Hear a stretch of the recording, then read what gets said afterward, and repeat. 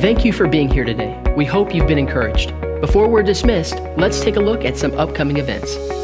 We're so excited about I Love My Church Sunday and Spring Revival with special guest preacher Hal Hightower, May 19th through the 22nd. Regular service times on Sunday and 7 p.m. during weeknights. So start inviting your neighbors and friends and make plans to attend. Speaking of Love My Church Sunday, come join us this coming Saturday at 10:30 a.m. as we canvass our neighborhoods inviting people to this event. If you can't make that date, that's okay. Just grab a stack of invitations on your way out and start passing them out today. We'd also encourage you to share this event on both Instagram and Facebook. We're so thankful for the men and women that gave their lives for their country. If you have a loved one who's no longer with us who served in active military, please bring their pictures this Sunday so that we can proudly display them in the lobby on Memorial Day weekend.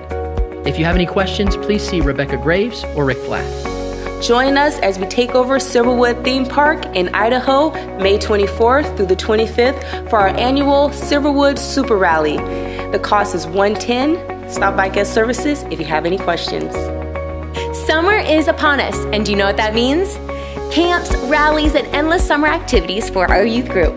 If you would like to help sponsor a teenager for any of their activities, please contact Tim or Kristen Schecksnyder, who will be located at guest services at the close of every service.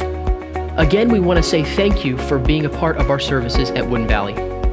If you're a first time visitor, don't forget your free gift located at guest services out in the entryway. Thank you and have a blessed day.